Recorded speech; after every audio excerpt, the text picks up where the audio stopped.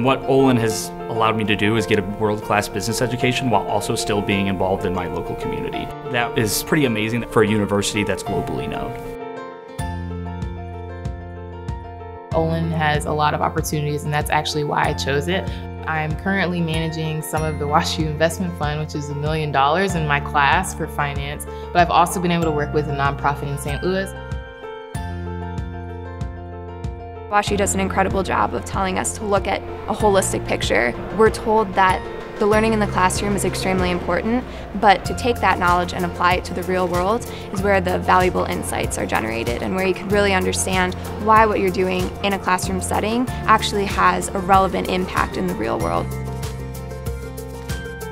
Your professors are going to be very experienced and know a lot about their subjects.